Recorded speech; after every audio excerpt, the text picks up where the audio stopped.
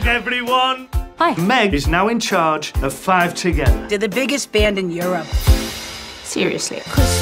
Five Together are our cash cow, so you've got to find a Christmas number one. No pressure, but I will sack you if you fail.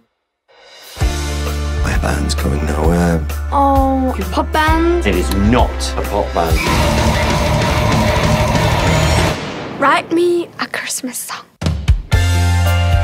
This girl posted a pretty good original song. It's by our uncle. Hey, I work for Cocksmiths Management. Five together want to record your Christmas song. Oh, you wrote a Christmas song. Why? Christmas lights. You do understand that we're talking about a serious amount of money. I don't care about the money. That was a personal song for Nina. Like it. It's beautiful. I also hate the soulless, dead-eyed corporate world five together represent. Um,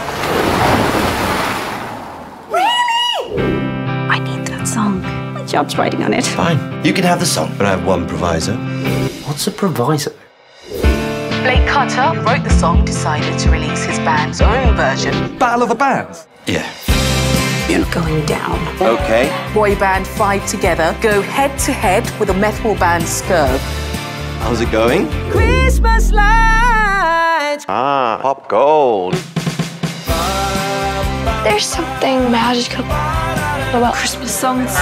It always takes you back to a happy place. Who's gonna be Christmas number one? Sorry. Quick, quick, get a little room.